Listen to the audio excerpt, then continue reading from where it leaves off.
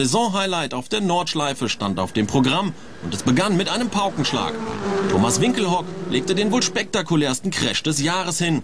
Zur Entwarnung vorweg, er blieb größtenteils unverletzt. Was aber war passiert? Thomas Jäger hatte Tommy Winkelhock am Schwedenkreuz überholt. Der lupfte seinerseits das Gas, um eine Berührung zu vermeiden. Das Heck brach aus. Alex Burgstaller berührte ihn.